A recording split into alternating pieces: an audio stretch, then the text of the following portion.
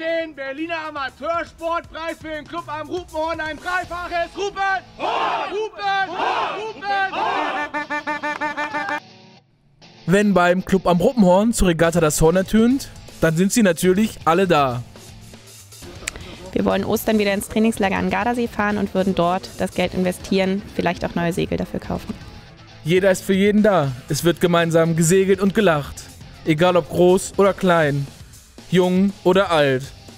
Ja, der Club am Rupenhorn ist ein absolut ausgezeichneter Verein, der für familiären Zusammenhalt steht, den man hier als Sportler spürt und der gerade im Segelsport seinesgleichen sucht. Das Aushängeschild am Ruppenhorn ist das Bundesliga-Team. Dass es dieses Team überhaupt gibt, ist bereits ein Riesenerfolg für den kleinen Verein.